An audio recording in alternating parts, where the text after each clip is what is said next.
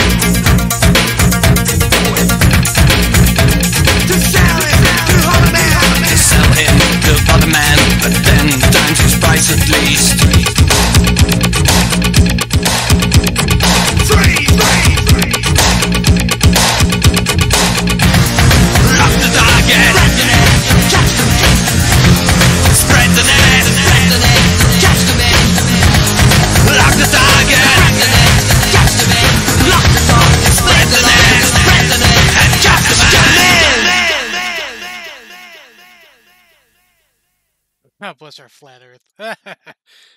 a little dig there, maybe, perhaps. I don't know. I don't know if they're into uh, like politics like that and the whole flat earthers and all that. I'm not going to get into that, but I, I don't need to uh, take too long to think about this one. But I'll see you in the review.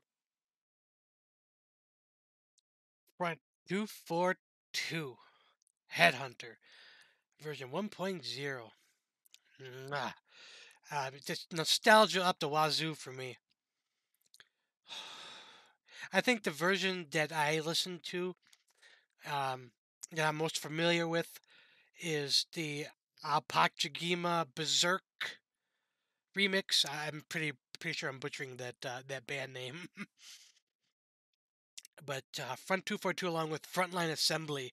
I haven't listened to Frontline Assembly eh, since 2006 or 7. Used to love, love, love me some Frontline Assembly, but uh, this isn't about them now, is it? This is about Headhunter and Front 242. Five skulls out of five, easy. Unbelievably catchy. Great lyrics, great vocals, great music. It's not too like high in tempo, but just everything just works about this song. It's just so classic. Not a bad thing about it. Not a thing. Wasn't stale. Wasn't really repetitive, in my personal opinion. Some people cannot stand electronica for that simple reason. But uh, what do they know, you know? Absolutely love this. Um, I would love to see more uh, Front 242 on this channel. So if you have any more requests from that band or any other band, leave them in six feet under, as always. The link to the original video will be in the description box for your viewing pleasure at your leisure. And again, this request comes to us by KRW. Thank you again for this nostalgic trip down memory memory lane for me. Ah, awesome, awesome, awesome. But I think that's going to be it for this episode of reviews and reactions. As always, if you like what you saw, like, subscribe, comment, share the video, hit that notification bell. And as always, ghouls and ghosts, stay scared.